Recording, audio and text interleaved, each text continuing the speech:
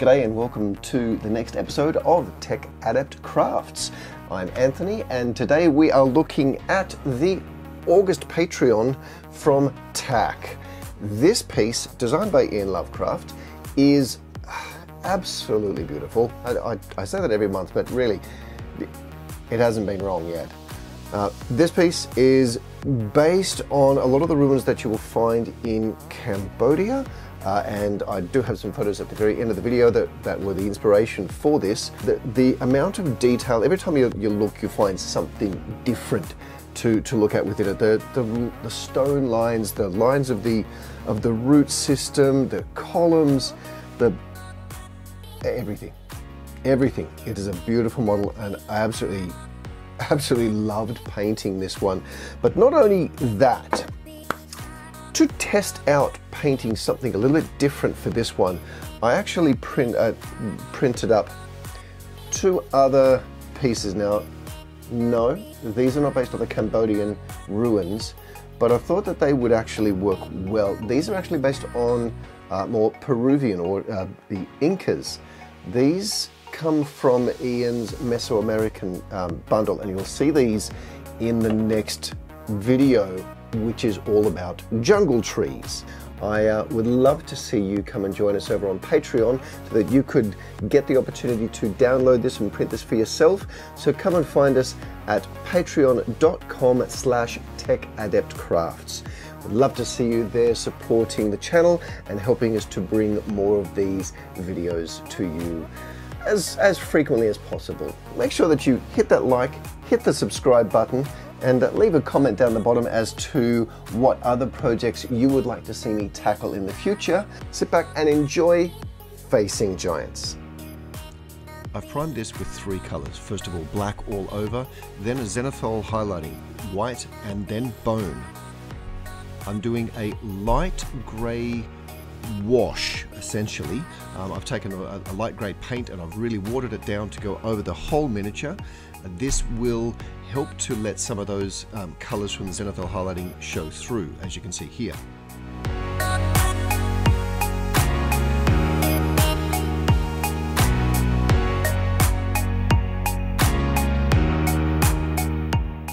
First of the colors, I'm using a deep violet for the shading. Rather than doing uh, just a straight black or using a blue for the, for the shadowing, I'm using a purple here. Uh, my two main colors I am using in this are purple and green. I just think they will give a really interesting effect. This is going into a lot of the recesses to give the impression of shadows. Any of those deep crevices as well. Now to take a leaf out of the Impressionists playbook, this is a cadmium yellow deep hue and I'm using this to give the impression of light hitting the surfaces of the model all over the place. So this is sunshine showing through the model. To give a mossy look to the overall feel, I'm using Hooker's Green Hue Permanent from the Liquitex Acrylic Color Basics range. Any sort of deep green would work here though. I'm applying all of these colors fairly liberally and like into the cracks or on crevices uh, where you might find moss sitting or hanging. This is only our initial step for adding color. We're going to go over this all later.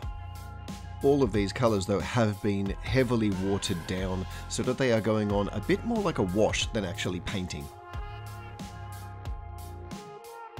Now to start work on our tonal hues for the stone, we're using a raw sienna, again from the Liquitex range. This is again watered down and splotched over in random patterns, just to show different forms of rock, different types of colors within the, the, the sediment showing through. This next color I'm using mainly around the base of the model and it is a burnt umber from Reeves. Any sort of burnt umber would do though. This gives us our second tonal hue for the stone, just showing different layers of that sediment. Here's a look at the model with all of the base coloring now done. Time to start blending them together. First thing for that, we're going to do a white dry brush. This goes over the entire model. It helps to draw all of the, the colors together by blending over the top of them. It helps to mute the harsh edges where you may have left some of the, the paint not quite blended through onto that initial gray. You can see here I'm, I'm showing a slower technique there of the brushing just so you can see how it goes over.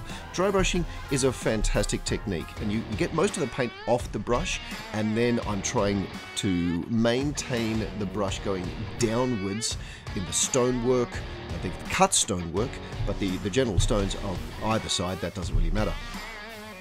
You can bring that up to as light as you would like. You can also obviously not use a white, you could do a a different type of grey, you could use a bone, but here you can see the effect that that has had to blend those colours together. All of those colours showing through really do make a difference.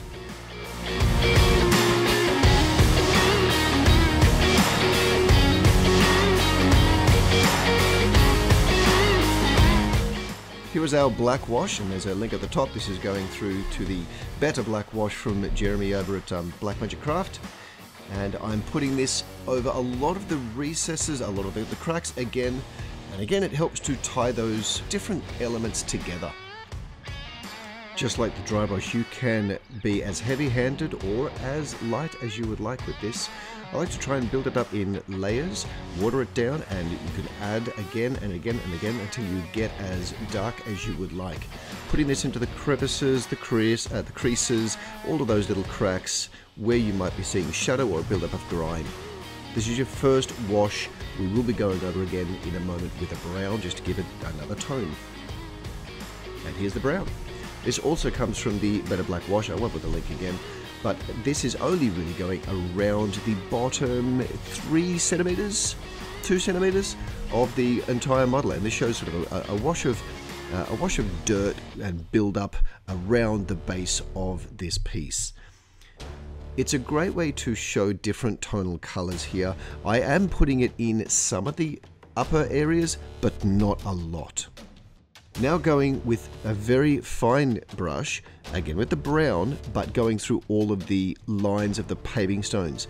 I just thought this would be a good way of really picking out the detail in that. Returning to the burnt umber, it's now time to paint all of the roots that are scattered around the model.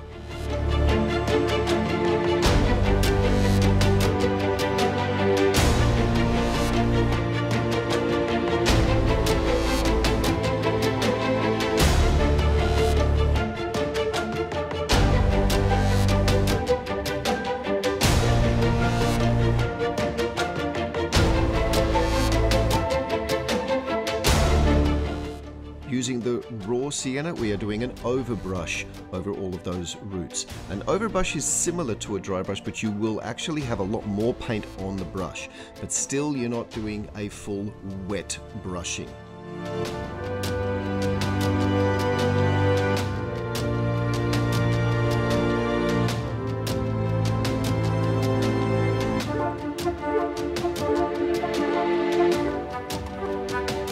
First time I'm using this Deco Art Americana Slate Grey and I'm using it as a dry brush over the top of the roots. This helps to then blend it back through to the rest of the model and tie the two elements together.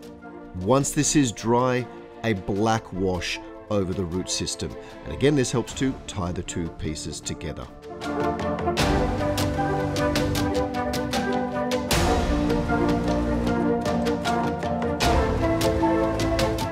Now we're going to stick some flock around the edges.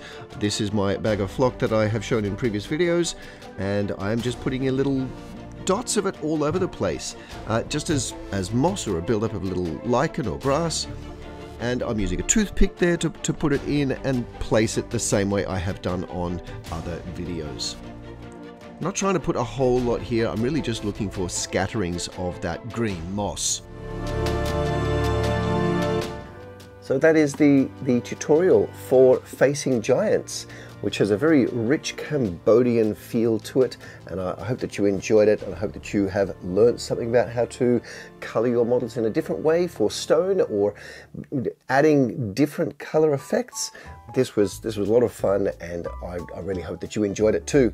So until next time, make sure that you come and follow us over at uh, Patreon so that we can bring you more videos. That is at patreon.com slash techadeptcrafts. And we'd love to see you there as the newest member of the hobby goodness or to come and join the tacklers um, or maybe just toss a coin for the bard. We'll see you in the next episode, which is all about making uh, jungle trees and a whole themed board there of various different ruins and temples and, and what have you. But uh, you're to have to wait and see that one for maybe, maybe next week, maybe the week after. Stay tuned. Click that subscribe button and the notification bell so that you don't miss that episode on Jungle Trees. And we'll see you in the next episode. Until then, keep hobbying. Cheers.